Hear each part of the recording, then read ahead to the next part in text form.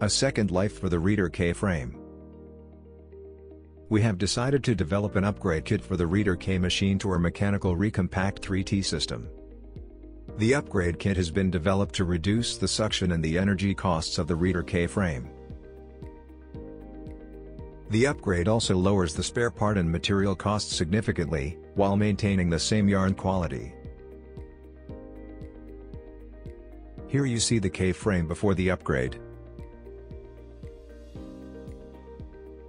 And then with the Recompact upgrade installed.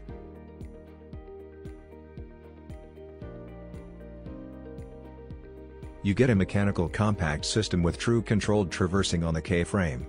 This gives the Rieter K-frame a second life and up-to-date performance. We have focused on keeping the cost for the conversion low. Underneath you can see which parts will be exchanged. The upgrade saves valuable resources and reduces energy costs for the yarn production of the machine.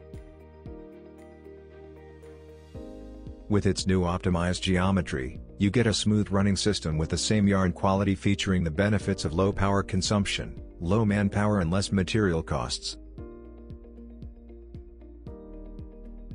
It is now possible to spin short staple fibers with a mechanical compact system upgraded to the Rieter machine and achieve the same yarn quality with significantly reduced costs.